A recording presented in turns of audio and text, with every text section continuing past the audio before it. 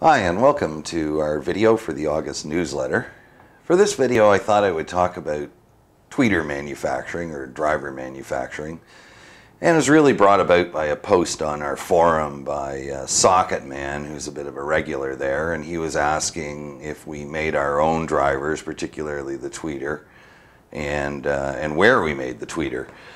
So uh, I thought I'd just sort of clarify that a bit and um, it really sort of prompted some talk between Andrew and I about doing a, a whole video on not just uh, the tweeter and, and sort of how and where it's made or a little bit of a factory tour on that, but into the whole tweeter design and we ended up deciding that tweeter design would probably be a, a good topic for uh, a completely separate uh, video, uh, perhaps a little later in the fall.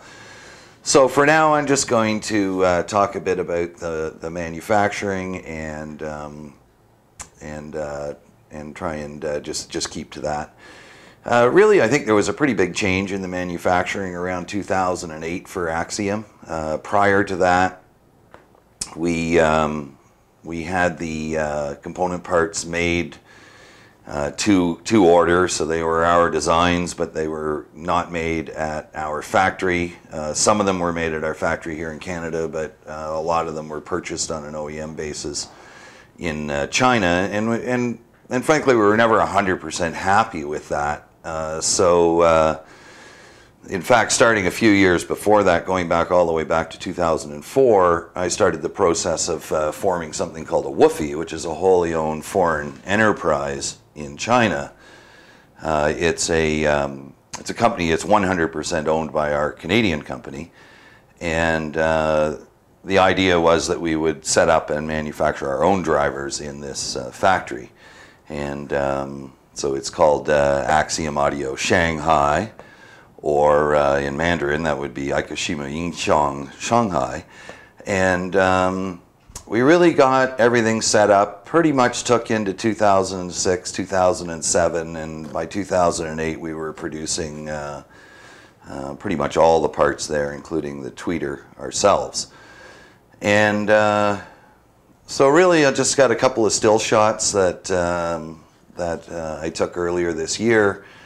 And uh, the first shot on the screen we're going to put up here is really just a little view to motor assembly. This is um, uh, the T-yoke magnet and top plate getting glued together, and there's a there's a jig while the glue dries, and um, and then uh, the next shot is uh, of a uh, tweeter voice coil and um, I guess the thing that's a, a little bit sort of uh, uh, interesting about this is you'll notice that the uh, the actual voice coil lead is terminated right at the voice coil, and a uh, tinsel lead is uh, soldered on at that point. And this is very important for the longevity of a tweeter. If you it's quite common to just sort of take the voice coil wire and extend it out across the, the terminal plate and solder it to the to the uh, wire lug. But um, this is really uh, fraught with problems, um, probably going to fail over time. Uh, so we, we go to the, uh, to the um, expense of uh, actually soldering on a little tinsel lead so that those lead wires don't break over time. Uh, in the next shot here, this is just really a, a jig that's showing the how the voice coil is centered onto the, uh, the T-yoke and top plate assembly. And I think what's uh, unique about this, since we took over our own manufacturing, we were able to uh, make our own jigs. We uh, tooled them at, uh, at a local machine shop here in, in, in uh, Canada that had a very, very expensive CNC lathe, and we were able to make these jigs to extremely tight tolerances so that we could get the uh, voice coil in exactly the same spot in every tweeter. Um, and, and even beyond that, we actually make the tweeter in sets. So once that voice coil has been jigged in that top plate and T-yoke, it stays with that top plate and T-yoke until it's uh, completed and, um, and tested and, and sent to Canada.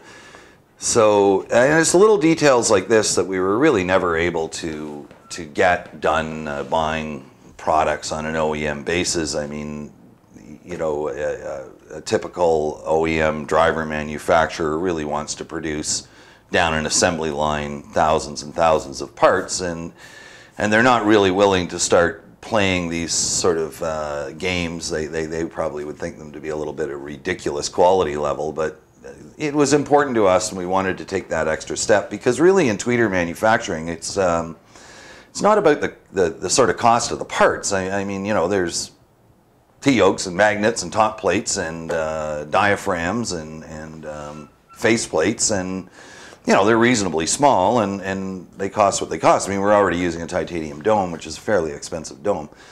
So um, really what it comes down to is the care and attention in making every uh, single tweeter exactly as you want it. So holding a very close tolerance, and and that's it is easier to do these tolerances in drivers for in woofers for sure, but in tweeters a little more difficult, and you really have to go to these special links in order to accomplish that. In the next uh, picture here, this is uh, you can see the sets being lined up, and um, He and Lai are just actually. Um, they're just actually sort of lining up the magnets and all of the their their associated uh, voice coils are sitting there. They're about to put the ferrofluid in, and um, the ferrofluid again we put that in with a, a very expensive uh, pump uh, that we bought in the United States from uh, Fluid Metering Inc., which allows us to put the ferrofluid into fractions of a microliter, and um, again after the whole uh, idea of consistency. And then um, in our next shot here, this is uh, really just the final tweeters are now together with their faceplates on and uh, they're ready for testing. Um, and then this is the um, this is the test box that every tweeter is tested in. Uh, it's really just a, uh, an insulated square box with a microphone in the bottom and you can sort of see the foam piece sitting on, on top there, and that is, that is on a spring-loaded arm, so it holds the tweeter down into the box. And then uh, the real magic, of course, is this uh, um, uh, measuring device, which is hooked to a computer. And it will do a series of tests all in one burst sweep to the tweeter. So it will do an impedance, it will do uh, amplitude, it'll do a buzz and rub, it'll do phase, it'll then present the operator with a pass or a fail. Uh, the pass or fail parameters were all written by, uh, by Andrew here um, to, uh, to the tolerance we wanted to uh, try and keep.